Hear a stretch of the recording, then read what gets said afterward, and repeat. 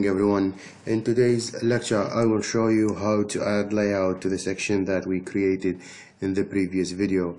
And um, in the previous section that uh, I explained layouts uh, for my students especially in uh, for my students in Ajman University I have this example which is um, it's completely made in a metric system.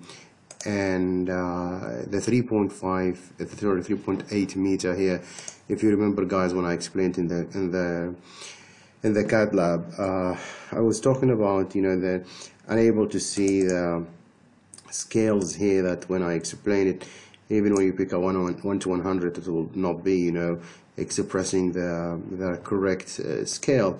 And we said we have to complete the 1000 by multiplying this 10 by one by, uh, by 100 so you get 1000 so if this is a frame if you want to make this as, as 1 to 100 you have to complete the 1000 and by this you have to write this uh, 10 so 10 by 100 will be 1000 so this will be 1 to 100 so always select this guy. If you want it to be 100 just multiply that by 10 if you want it to be 200 multiplied by 5 in order to complete the 1000 and so on. So if you remember this part guys uh, when I explained it in the class uh, here uh, I'm trying to express this in a different environment. This is a units of millimeters. So when I go to layouts uh, and I just simply go to this and take the file just to show you different cases when you copy paste between different environments different units. Uh, again uh, just copy that without the without the viewport of course and just paste it here. And indeed I need to go to right click on the page and go to page setup and go to modify and I will pick the uh, AutoCAD PDF and the size of the paper will have it. ISO A3 let's say this one. So we are yep this one. And again I'm gonna pick here from here monochrome. So monochrome PDF A3 I'm gonna you know uh, put that on layout so it will be automatically centered and hit OK. Close and this guy I can double click or rename will just say in A3 and I can say just section and then let's say 1 to 100 and probably um, pushing that a little bit to make it inside the frame uh, and then a little bit to the right. Anyway the viewport itself uh, might need some work on it but the point here of course uh, the frame the picture we're going to show as a text so you need to add Ajman University logo as we said in the class. Anywho uh, that's what I wanted to talk about the viewport and the scale. That's the scary issue for you guys. In here if I go immediately not to custom scale but rather to standard scale and I just pick 1 to 100 like this. So before I should have focused on the object like this and then you know select that guy and go to custom scale 1 to 100 which is totally was not available when I was on a metric system on the previous example that I just show you.